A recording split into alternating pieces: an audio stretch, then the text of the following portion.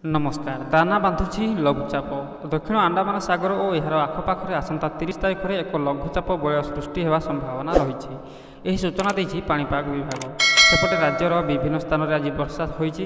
ଉତ୍ତର ଦକ୍ଷିଣ ଓଡ଼ିଶାର ପ୍ରାୟ ସବୁ ଜିଲ୍ଲାରେ ଘଡ଼ଘଡ଼ି ସହ ବର୍ଷା ସମ୍ଭାବନା ରହିଥିବା ନେଇ ଆଞ୍ଚଳିକ ପାଣିପାଗ କାର୍ଯ୍ୟାଳୟ ପକ୍ଷରୁ ସୂଚନା ମିଳିଛି। ଏମିତି ସୋନପୁର ସମ୍ବଲପୁର ଦେବଗଡ଼ ବଲାଙ୍ଗୀର କନ୍ଧମାଳ ବାଲେଶ୍ୱର ଭଦ୍ରକ ଯାଜପୁର ଓ କଟକ ଜିଲ୍ଲା ପାଇଁ ୱାର୍ଣ୍ଣିଂ ଜାରି ହୋଇଛି। ଏହି ନଅଟି ଜିଲ୍ଲାରେ ସ୍ଥାନେ ସ୍ଥାନେ କୁଆପଥର ସହ ପ୍ରବଳ ବର୍ଷା ହେବା ନେଇ ପୂର୍ବାନୁମାନ କରାଯାଇଛି।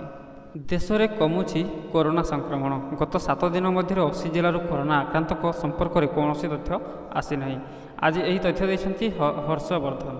କେନ୍ଦ୍ର ସ୍ୱାସ୍ଥ୍ୟମନ୍ତ୍ରୀ ଆହୁରି କହିଛନ୍ତି ଗତ ଚଉଦ ଦିନ ମଧ୍ୟରେ ସଡ଼ଚାଳିଶ ଜିଲ୍ଲାରେ କରୋନା ଆକ୍ରାନ୍ତଙ୍କ ତଥ୍ୟ ଆସିନାହିଁ। ଅଠେଇଶ ଦିନରେ ସତର ଜିଲ୍ଲାରେ କରୋନା ନେଇ ବି କୌଣସି ସୂଚନା ନାହିଁ।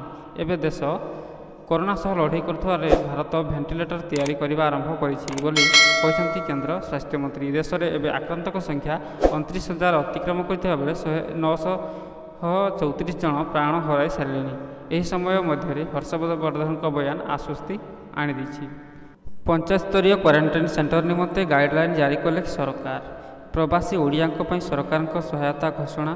ଓଡ଼ିଶା ଫେରିବା ପରେ ଚଉଦ ଦିନିଆ କ୍ୱାରେଣ୍ଟାଇନ୍ରେ ମିଳିବ ସହାୟତା ଖାଦ୍ୟ ପାଇଁ ବୟସ୍କଙ୍କୁ ଦିନକୁ ମିଳିବ ଶହେ କୋଡ଼ିଏ ଟଙ୍କା ଚଉଦ ବର୍ଷରୁ କମ୍ ବାଳକଙ୍କୁ ମିଳିବ ଶହେ ଟଙ୍କା ନିତ୍ୟ ବ୍ୟବହାର୍ଯ୍ୟ ସାମଗ୍ରୀ ପାଇଁ ମିଳିବ ତିନିଶହ ଟଙ୍କା ଓ ଗୋଟିଏ ବେଡ଼୍ ପାଇଁ ମିଳିବ ଦୁଇଟି ବେଡ଼ସିଟ୍ ଓ ଦୁଇଟି ତକିଆ ପ୍ରତିଦିନ ନୂଆ ନୂଆ ଭିଡ଼ିଓ ଦେଖିବା ପାଇଁ ଭିଡ଼ିଓକୁ ଗୋଟେ ଲାଇକ୍ କରନ୍ତୁ ଏବଂ ଆମ ଚ୍ୟାନେଲକୁ ଯଦି ନୂଆ ଆସନ୍ତି ତାହେଲେ ଚ୍ୟାନେଲକୁ ସବସ୍କ୍ରାଇବ୍ କରିବା ସହିତ ପାଖରେ ଥିବା ବେଲ୍ ଆଇକନ୍କୁ ମଧ୍ୟ ପ୍ରେସ୍ କରନ୍ତୁ ଯାହାଦ୍ୱାରା କି ଯେତେବେଳେ ଭିଡ଼ିଓ ଅପଲୋଡ଼ ହେବ ଆପଣମାନେ ଦେଖିପାରିବେ ସର୍ବପ୍ରଥମେ thank you so much friends